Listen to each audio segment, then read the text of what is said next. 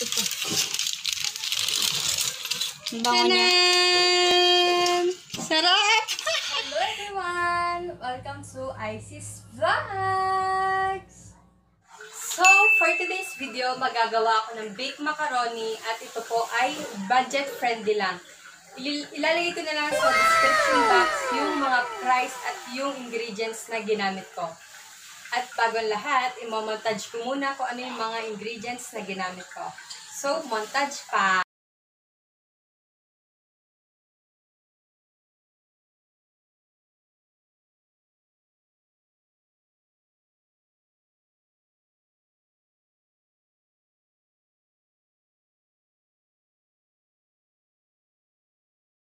So, first thing to do is isasangag ko muna yung macaroni kasi kaya ako siya sinasangag para hindi siya malabog pagka pinakulan na sa tubig. So, yun.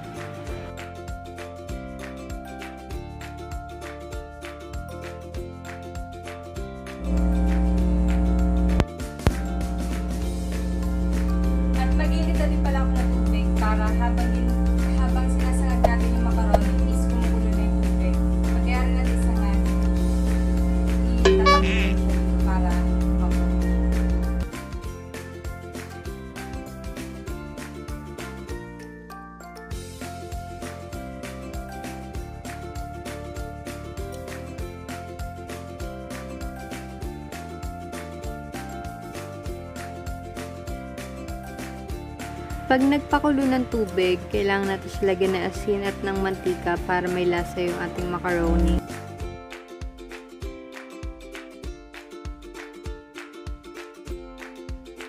So guys, mag-voice record muna ako kasi hindi ko alam ano nangyari sa mic na ginagamit ko. So ayan, as you can see, tapos na akong magsangag ng ating macaroni. So let's proceed naman sa sauce. Dahil tapos ko na isangag yung macaroni, ilalagay ko na siya sa ating pinapakulong tubig para palambutin na. Yung paggawa ng sauce is para kang luluto spaghetti.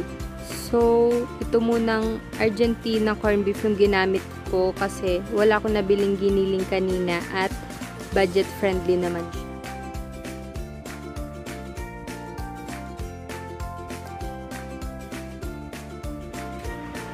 At dahil kumukulo na yung tubig, itatambog ko naman yung sinangag ko na macaroni.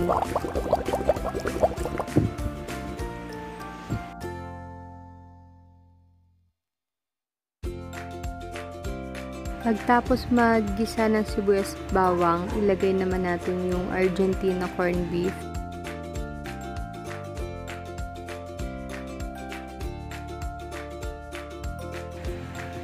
Ayan, luto na yung ating corned beef. So, ilagay naman natin yung hot dogs.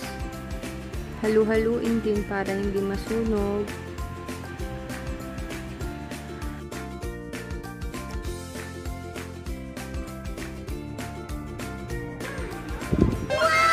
Mm, tignan mo siya, oh. pakit-pakit lang. Parang eng-eng. Sige pa. Ang pose. Oh. Pak. Pagluto na yung hot dogs, yung tomato sauce naman ang ilalagay natin.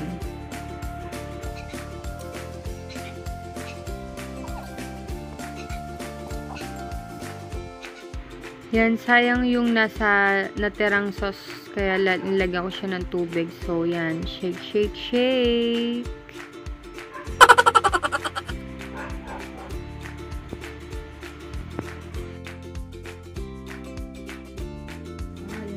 Mukhang luto na yung macaroni, so patayin ko na yung kalan at i-drain ko na siya. So, nilagyan ko siya ng mga seasonings. Ang nilagay ko is beef nor cubes, asin, asukal, paprika at ng paminta. At haluin natin siya.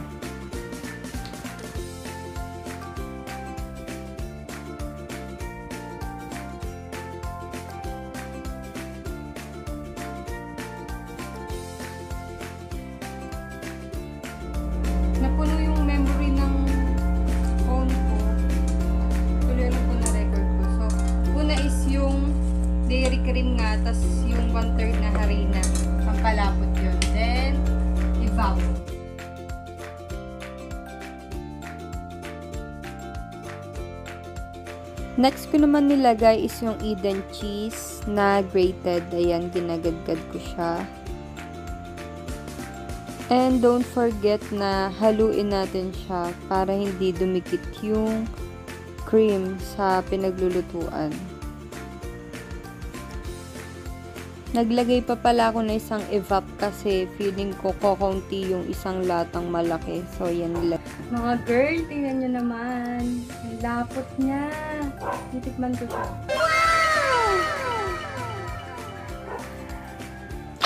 Sarap. Hindi ganong matamis. Hmm? Sarap. Mm. Ngayon is, maglalagay ko naman siya sa Pyrex para i-oven. Ngayon naman is maglalagay na tayo sa lalagyanan ng, ng ating ibe-bake. So, make sure na yung lalagyanan nyo is pwede siya sa oven. Tapos ito nakita ko lang dito. Tinanong ko na din kay mami. Tapos nakalagay naman pala dito is microwave, dishwasher, or oven safe. O, oh, diba? Pwede siyang gamitin. Wow! Maglagay na tayo. Let's start.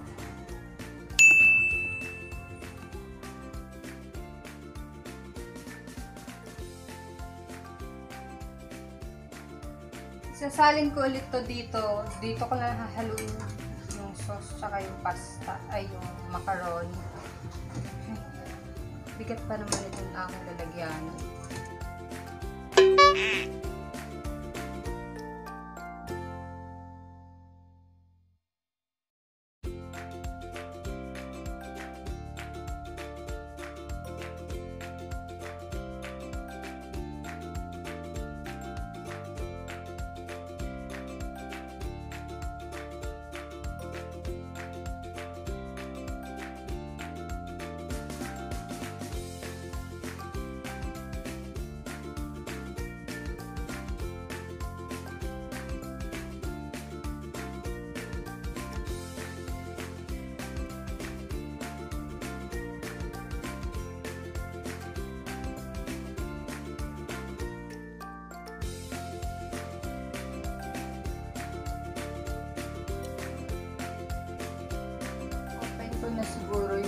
oven para mainit na siya. Tama.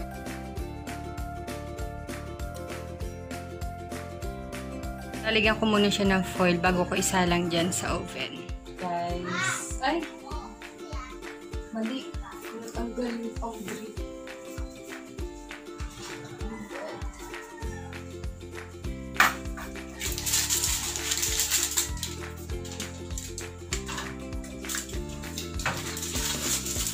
Ingat lang.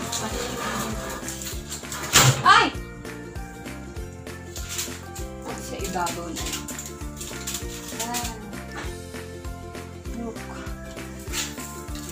Oh, diba? Wow! Wow! Low muna tayo.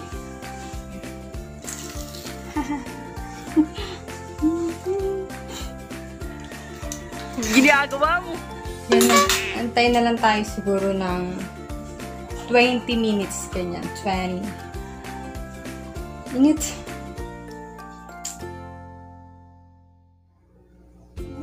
So, habang inantay ko maluto yung baked macaroni is, nag-live po na ako ng aking mga pinagalitan. Hmm, kalat. Diba? Oh no! Oh, tamba.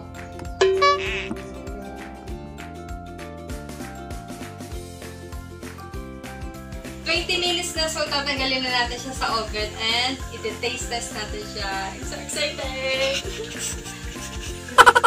Patayin ko muna yung ano, yung gas ko. Pero tanggalin ko na itong saksa. Ay! Hindi pala. Galing may kausok pa.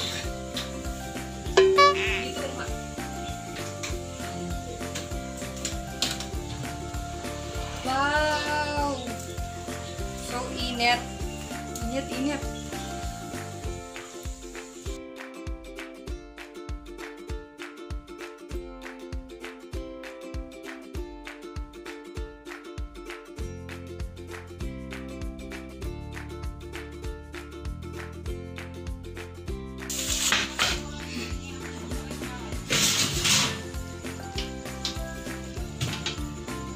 Let's open it. Wow.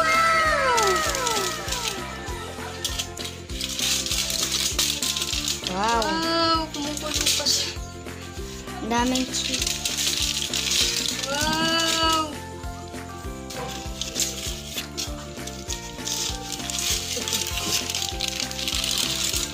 Ang bango niya. Sarap! Oh my God!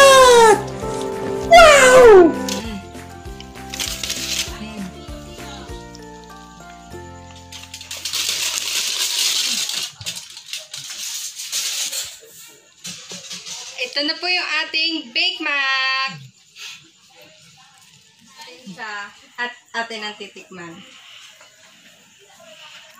Oh, so creamy, oh. You see? You see? Ay. Dati yata hindi. Ano na lang.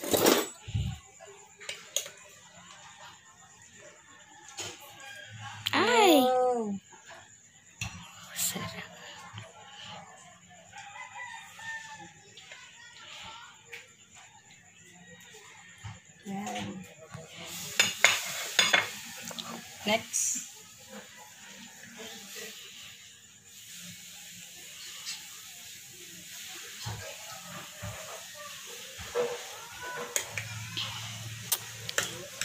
Naglalaway ha, ma.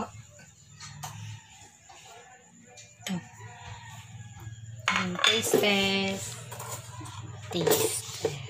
Awesome.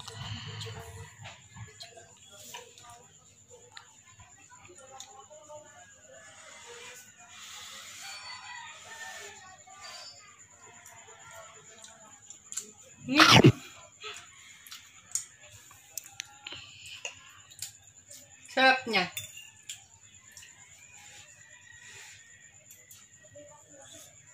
Mm, sarap. mm. Ikaw naman.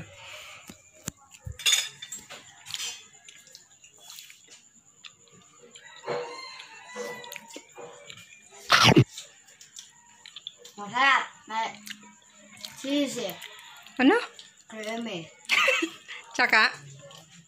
Cheesy. Masarap yung sauce din.